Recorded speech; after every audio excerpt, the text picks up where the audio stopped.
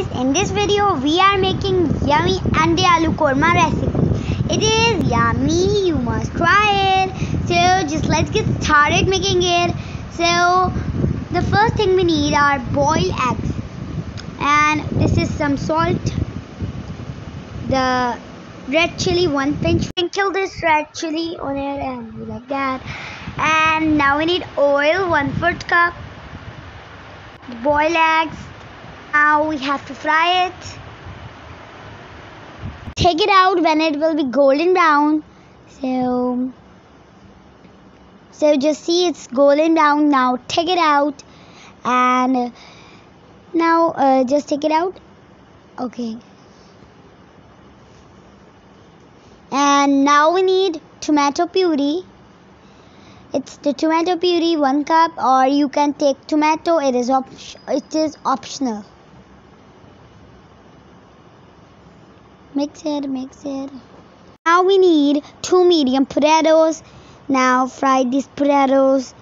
And now we need ginger garlic paste one tablespoon. So this is ginger garlic paste one tablespoon. Fry it. Frying it frying it. Okay. So now we need water half cup again fry it fry it and put the cap on this okay? The potatoes become soft you can see.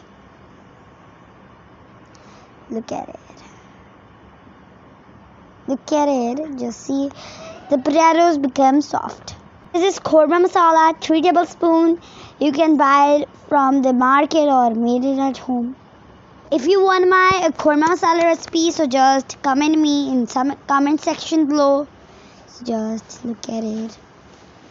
So just tell me i'll make it. Okay now we need yo- yogurt one cup. Look at it. Okay. Put it all